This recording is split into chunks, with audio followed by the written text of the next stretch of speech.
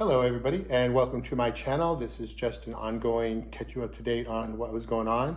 Um, I did have uh, male breast cancer and they did a mastectomy on me.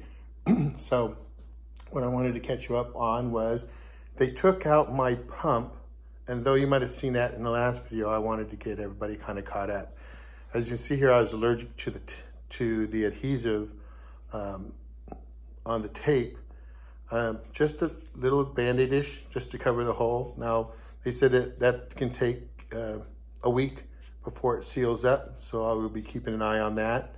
Um, I went to my primary doctor today and he took a look. He said, even though I know it looks horrible, um, everything looks great. He said, um, stitch-wise and where how they did everything, he said they did a great job, so I'm pretty happy. Um, I have, uh, you might be able to see right here, is actually, I still have some bruising and I still have some touchies that are right in here. Everything is still very tender, obviously, of course. My surgery was on uh, November 17th.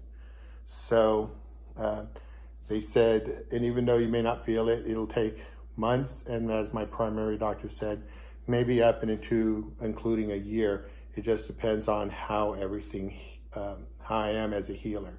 Um, if you have that, if you notice here, here's a line here, here's a line here. What I did before, just to make it on easy on everybody, is because most men are hairy, um, I took my beard shaver and I went across and I actually kind of cut a square out and as well as under my arms just to make everything nice and clean and clear for them the best I can. And of course, they finished up whatever they needed to cut in the operating room.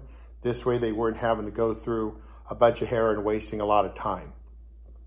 So if you end up having the same problem as I have, um, then you, you'll have an idea at least what to kind of do to get ready for it. Um, I was pretty nervous during surgery. I ended up talking to the doctor that did my surgery and uh, she said everything went great.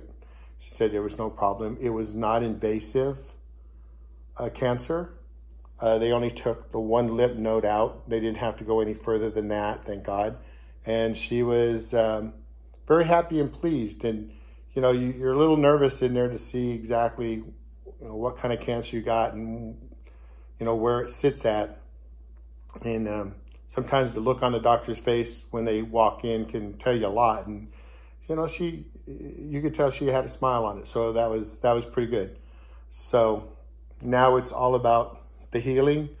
And um, my uh, primary doctor did say take a washcloth, not while I'm in the shower, but dry, and just kind of go over it to try to help desensitize the skin.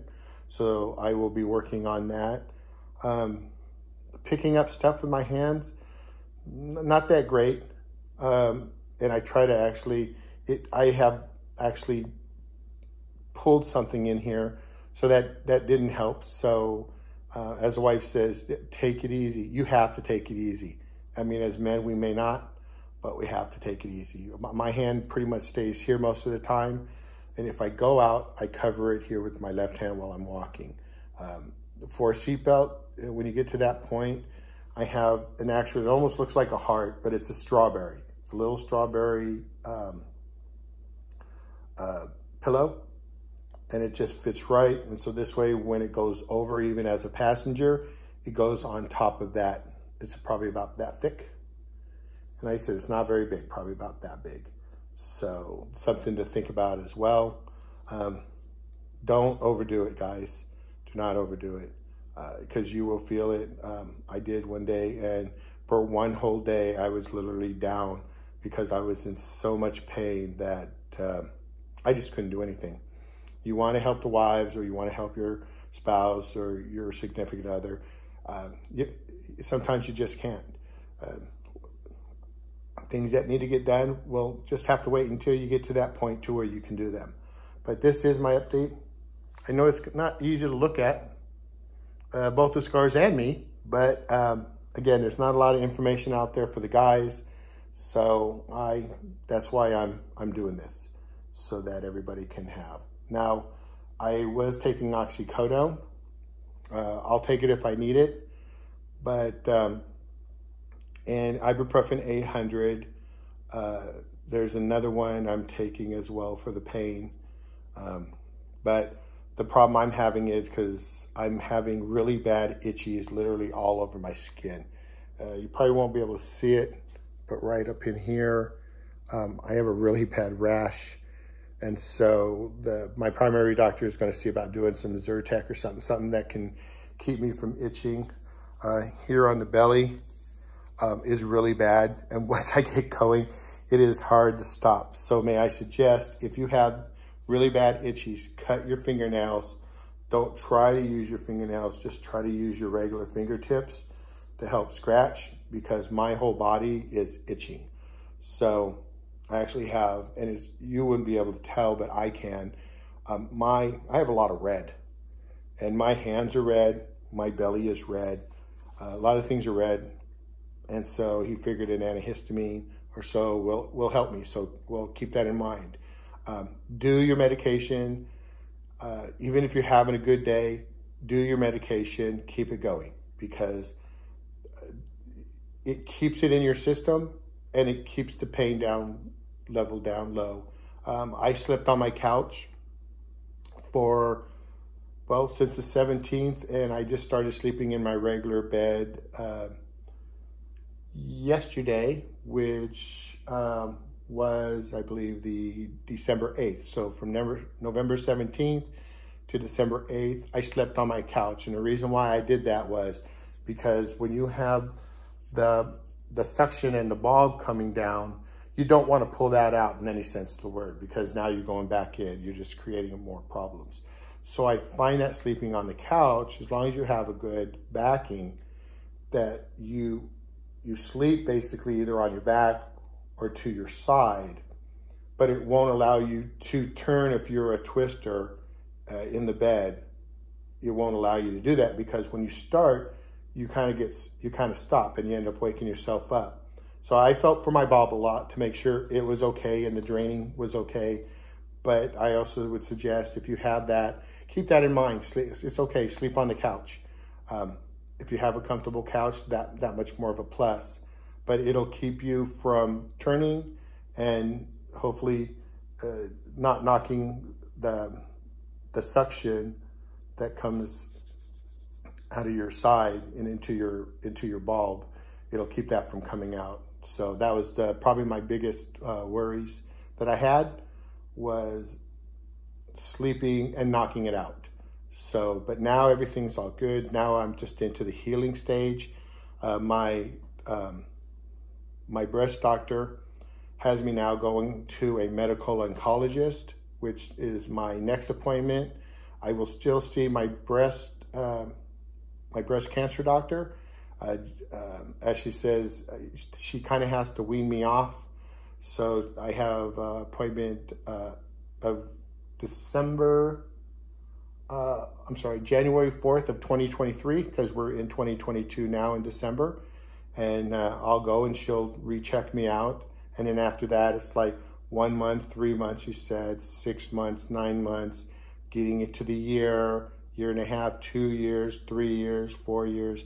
This is something that is going to be an ongoing thing for the rest of my life that I'm going to have to check to make sure that I don't have cancer going into my bones or going cancer into my other chest or as to wherever cancer would go that would, you know, mess me up. So, we're going to keep an eye on that.